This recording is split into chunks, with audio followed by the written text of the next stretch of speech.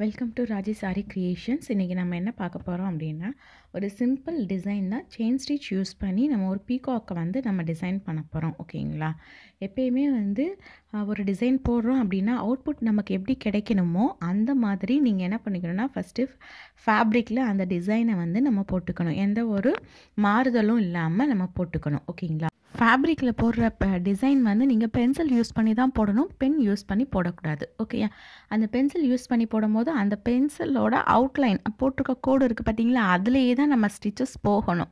அதை விட்டு வெளியில் போனாலும் அந்த பென்சில் வந்து போட்டது வந்து வெளியில் தெரியும். அப்போ ஃபைனல் அவுட்புட் நமக்கு நல்லா இருக்காது.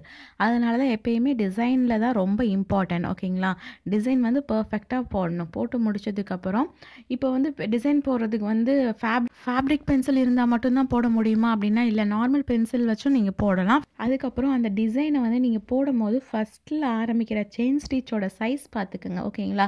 எப்படி போடுறீங்களோ அதே சைஸில் தான் நீங்கள் என்ன பண்ணணும்னா அந்த செயின் ஸ்டிச்சை வந்து நீங்கள் கண்டினியூ பண்ணணும். இன்னொன்று எப்போ என்னென்னு பார்த்தீங்கன்னா ஒரு டிசைன் ஸ்டார்ட் பண்ணிட்டோம் அப்படின்னா நம்மளோட நீடிலோட பொசிஷன் எப்பயுமே 90 டிகிரியில் தான் இருக்கணும். தென் நமக்கு வந்து ரொம்ப கு இந்த டிசைனுக்கு வந்து ஒரு டிசைன் போடுறோம் அப்படின்னா அதுக்கு ரொம்ப குட்டியோண்டு செயின் ஸ்டிச்சை அப் வேணும் அப்படின்னா நம்ம என்ன பண்ணணும்னா ஏற்கனவே போட்ட செயின் ஸ்டிச் இருக்குது பார்த்தீங்கன்னா அதை ஒட்டியே நீங்கள் போட்டுகிட்டே வந்தீங்க அப்படின்னா உங்களுக்கு நல்ல அழகான குட்டி செயின் ஸ்டிச் விழுகும். இந்த டிசைன் போட்டு முடித்ததுக்கப்புறம் நான் வந்து இதை நான் போட்டிருக்க செயின் ஸ்டிச்சோட சைஸ் காட்டுறேன். ஒன் எம்எம் அதாவது ஒரு மில்லிமீட்டர் அளவு அதை விடையும் கம்மியாக நம்மளால் போட முடியும். ஓகேங்களா? அது இந்த வீடியோவில் நீங்கள் லாஸ்ட்டாக பார்த்தீங்கன்னா தெரியும். இப்போது இந்த கர்வ்லெலாம் நம்ம என்ன பண்ணுறோம் அப்படின்னா நம்ம க்ரீப்பிங் செயின் போட்டிருப்போம் பார்த்தீங்களா கர்வ்லெலாம் ரொம்ப குட்டி குட்டியாக செயின் ஸ்டிச் போட்டால் தான் நமக்கு அந்த கர்வ்லாம் தெரியும் அப்படின்னு. இப்போ பாருங்கள் இந்த ஃப்ளவரில் கொஞ்சம் லைட்டாக கர்வ் வந்து ஏறி இருக்கா. அப்போ நம்ம குட்டி செயின் ஸ்டிச் போடுறனால தான் அந்த கர்வை வந்து நம்மளால் என்ன பண்ண முடியுதுன்னா விசிபிளாக பார்க்க முடியுது. ஓகேங்களா? கொஞ்சம் பெருசு பெருசாக போட்டோம் அப்படின்னா அந்த குட்டி குட்டி கர்வ்லாம் நமக்கு வந்து கிடைக்காது.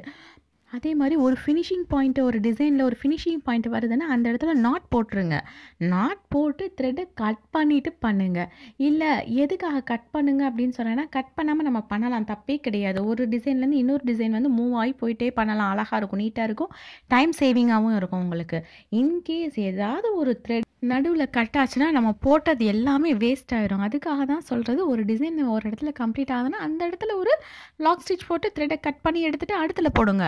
அடுத்து போடும்போது நமக்கு நூல் வந்து வெளியில் வந்துருச்சு அப்படின்னா இதுக்கு முன்னாடி போட்ட வரைக்கும் நமக்கு வந்து டைம் சேவிங் ரைட்டா அதுக்காக தான் நம்ம சொல்கிறது இந்த பீகாக் டிசைனில் நம்ம என்னென்ன ஸ்டிச்சஸ்லாம் யூஸ் பண்ணியிருக்கோம்னா செயின் ஸ்டிச் யூஸ் பண்ணியிருக்கோம் அதே செயின் ஸ்டிச்சை ரொம்ப குட்டியாக யூஸ் பண்ணியிருக்கோம் அதாவது லாக் ஸ்டிச் அளவுக்கு நமக்கு வந்து இந்த செயின் ஸ்டிச் யூஸ் பண்ணியிருக்கோம் அப்புறம் க்ரீப்பிங் செயின் யூஸ் பண்ணியிருக்கோம் பிளெண்டாகவும் யூஸ் பண்ணியிருக்கோம் அதாவது ஸ்மூத் எஜ்ஜும் யூஸ் பண்ணியிருக்கோம் ஷார்ப்பு க்ரீப்பிங் செயினும் யூஸ் பண்ணியிருக்கோம் அந்த மேலே அந்த லீஃப் மாதிரி அதாவது அது ஃபெதர்ஸ் வளையிற இடத்துலலாம் பார்த்திங்கன்னா பார்த்தீங்கன்னா கொஞ்சம் ஷார்ப் பண்ணி நம்ம கீழே கொண்டு வந்திருப்போம். மவுண்டெயின் ரேஞ்ச் இருக்குல்ல அந்த மாதிரி.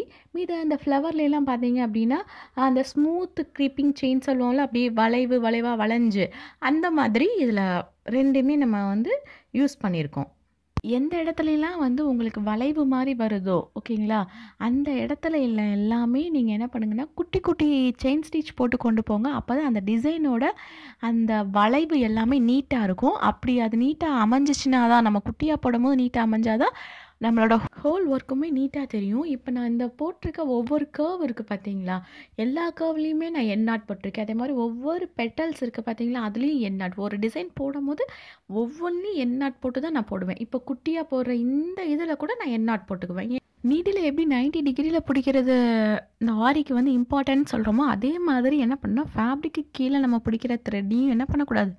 ரொம்ப இறுக்கமாக பிடிக்கக்கூடாது. எந்த அளவுக்கு அதுக்கு வந்து கம்ஃபர்டபுளாக நம்ம லூஸாக விடுறோமோ அந்தளவுக்கு மே மெ த்ரெட்டுக்கு மேலே வந்து அந்த த்ரெட் வந்து ஈஸியாக வரும். ரொம்ப டைட்டாக கீழே பிடிச்சிங்கன்னா மேலே இழுக்க முடியாது. அப் இல்லைன்னா இழுக்கும் போது என்ன ஆகும்னா த்ரெட் வந்து அந்து போயிடும். ஓகேங்களா நார்மலாக நீங்கள் ஃபஸ்ட்டு கற்றுக்குறீங்க அப்படின்னா ஓரளவுக்கு மீடியமான பிராண்டு நல்ல பிராண்டே நீங்கள் வாங்கி யூஸ் பண்ணி பார்த்தீங்க அப்படின்னா தான் த்ரெட்டு அறுக்காது. இல்லைன்னா அருந்து அருந்து விழுகும். கீழேருந்து மேலே இழுக்கும் போதே உங்களுக்கு என்ன ஆயிரும்னா அருந்து விழுக ஆரம்பிச்சிடும் என்னோட சேனலில் போடுற எல்லா வீடியோஸையும் ஃபுல்லாக பாருங்கள் ஏன்னா நம்ம என்ன பண்ணுறோன்னா ஃபஸ்ட்டு ஒரு ஸ்டிச்சை எடுத்து சொல்லிக் கொடுக்குறோம் அப்படின்னா அதோட தியரி பார்க்குறோம். அது எப்படி போடணும்னு ஃபஸ்ட்டு சொல்லி கொடுத்துட்டு அதுக்கப்புறம் அதை வந்து ஃபேப்ரிக்கில் எப்படி போடணும் அப்படிங்கிறதையும் பார்க்குறோம். அதுக்கப்புறம் என்ன பண்ணுறோன்னா ஃபேப்ரிக்கில் போட்டு முடிச்சதுக்கப்புறம் அதை வந் அதை வச்சு நம்ம வந்து இன்னொரு டிசைன் எப்படி போடுறது அந்த டிசைனில் எப்படியெல்லாம் அதை கொண்டு போயிருக்கோம் அப்படிங்கிற எல்லாமே பார்ப்போம். ஓகேங்களா? அப்போ தியரி மட்டும் இல்லாமல் ப்ராக்டிக்கல் ப்ராக்டிக்கலோட சேர்த்து வந்து உங்களுக்கு டவுட் எல்லாமே சேர்த்து வந்து ஒரு வீடியோவில் அதுவும் டென் மினிட்ஸ்க்குள்ளே நம்ம பார்க்குறனால அந்த வீடியோ ஃபுல்லாக பார்த்தீங்க அப்படின்னா உங்களுக்கு நல்லா கிளாரிட்டி கிடைக்கும்.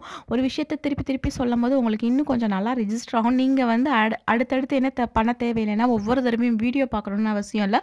ஒரு தடவை ஃபுல்லாக பார்த்தாலே போதும். நீங்கள் என்ன பண்ணலாம்? நீங்களாவே அந்த ஸ்டிச்சஸ் வந்து கற்றுக்கலாம் ஸோ வீடியோவை வந்து ஃபுல்லாக லாஸ்ட் வரைக்கும் பாருங்கள் இப்போது eighty percentage of a design வந்து கம்ப்ளீட் ஆகிடுச்சு ஓகேங்களா இப்போ வந்து அதோட பீக்கும் மா இதுவும் ஐஸும் போட போகிறோம் ஒரு பிக்சருக்கு நம்ம அந்த ஐஸ் போடுறோம் அப்படின்னா அதில் தான் வந்து அந்த பிக்சரோட அவுட்புட் வந்து தெரியும். ஐஸ் போடும்போது கொஞ்சம் டைம் எடுத்தாலும் பரவாயில்ல. குட்டி குட்டியாக நீங்கள் போட்டு அழகாக போடுங்க.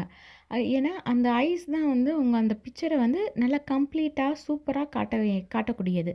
ஸோ அந்த இதுக்கு கொஞ்சம் டைம் எடுத்து நீட்டாக போடுங்க. இப்போ அந்த ஐஸையும் கம்ப்ளீட் பண்ணியாச்சு. அதுக்கடுத்து சின்ன மாங்காய் மாதிரி ஒரு குட்டி மோட்டிஃப் மாதிரி இருக்கும் உள்ளக்க. அதையும் இப்போ போடுறோம். அதுவும் நம்ம என்ன பண்ணுறோன்னா குட்டி குட்டி செயின் ஸ்டிச் தான் போட்டு போடுறோம். ஓகேங்களா? இப்போ வந்து இந்த மாதிரி பண்ணும்போது நீங்கள் என்ன பார்க்கணுன்னா டிசைன் வந்து தனித்தனியாக தொங்கக்கூடாது. நம்ம ஏற்கனவே போட்ட டிசைனில் இருந்து உள்ளேருந்து வர்ற மாதிரி க்ரீப்பிங் செயினில் சொல்லியிருப்போம் பார்த்தீங்களா? உள்ளேருந்து வர்ற வர்ற மாதிரி. அந்த மாதிரி டிசைன்ஸ் போட்டால் தான் பார்க்குறதுக்கு உங்களுக்கு நீட்டாக இருக்கும். ஒவ்வொன்றையும் தனித்தனியாக போடக்கூடாது. அப்படி உள்ளேருந்து போகிற மாதிரி இருக்கணும்னா ஏற்கனவே போட்ட டிசைனில் கொஞ்சம் உள் கூடி குத்தணும். அதாவது ஸ்லோப் மாதிரி குத்தி எடுத்திங்கன்னா பார்க்குறதுக்கு நீட்டாக இருக்கும். ஓகேங்களா?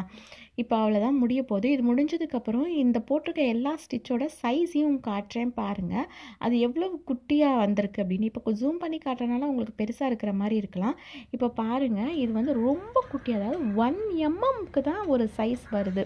ஓகேங்களா அதை விடையும் கம்மியாக இருக்குது நம்ம போடுற இந்த ஸ்டிச்சஸ் ஓகே ஸோ ப்ராக்டிஸ் பண்ணிங்கன்னா நீங்களும் இந்த மாதிரி அழகாக சின்னதாக கூட செயின் ஸ்டிச் போடலாம். ஓகேங்களா தேங்க்யூ தேங்க்ஸ் ஃபார் வாட்சிங் please subscribe my channel for more videos thank you